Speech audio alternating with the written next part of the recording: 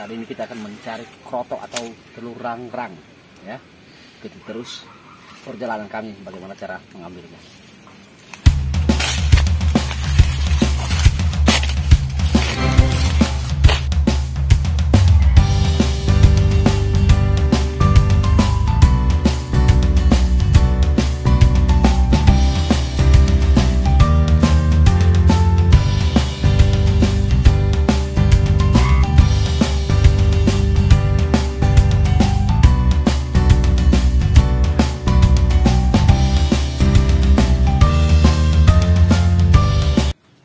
Nah, teman-teman, pada kesempatan untuk mengisi hari luang kosong ini, kita manfaatkan untuk uh, kegiatan yang berguna. Di antaranya pada kali ini saya akan uh, men-share kepada teman-teman cara mencari telur rang-rang, di mana nanti manfaatnya sangat hmm. banyak sekali. Nah, ini merupakan hasil yang pertama kita dapat. Sebenarnya yang kita ambil itu adalah telurnya. Nah kita hanya modal bambu yang lumayan panjang kemudian kita pasang uh, berupa jaring juga boleh tapi jangan terlalu bolong nanti akan jatuh. Ya mau yang penting modelnya seperti ini. Itu pun ngambilnya di atas pohon. Oke masih belum cukup kita akan cari lagi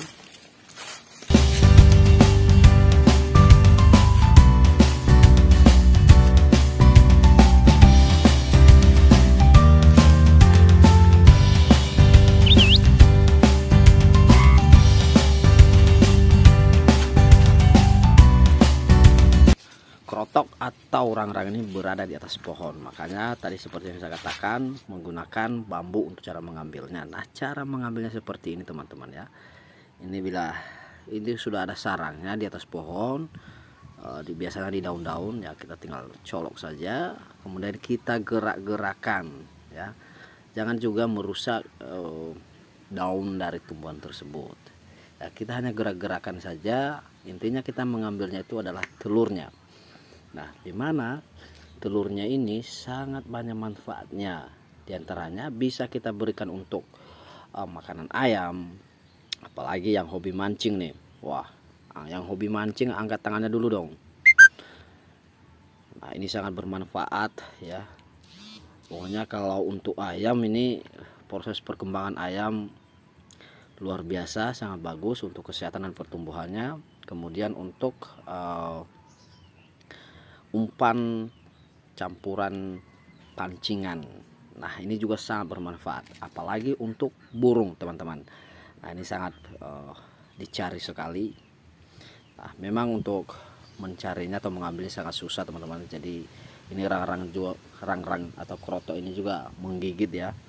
Makanya kalau uh, mengambilnya teman-teman harus hati-hati. Jangan sampai kena mata. Nah inilah dia seperti ini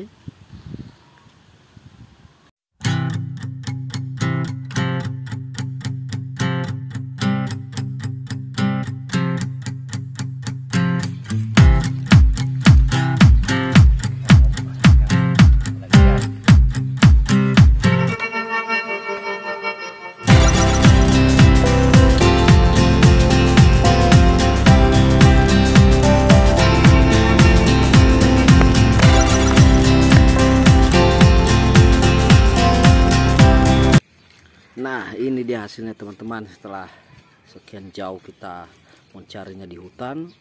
Dan inilah yang tadi saya maksud telurnya ini. Nah ini merupakan sangat bermanfaat sekali. Ya kami berdua bersama dengan Terus, Pamang ya. Nah, tuh nasi.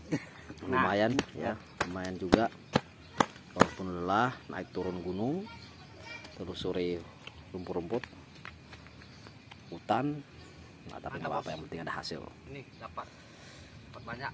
Lumayan. Memang hati-hati sekali teman-teman ya. Ini semutnya menggigit dan bukan satu dua ekor tuh. Ribuan ya. nah ini alatnya seperti yang saya katakan tadi. Modelnya seperti ini. Oke teman-teman, terima kasih ya. semoga telah berkunjung, semoga bermanfaat bagi kita semuanya. Jangan lupa dukung terus channel kami ini. Terima kasih.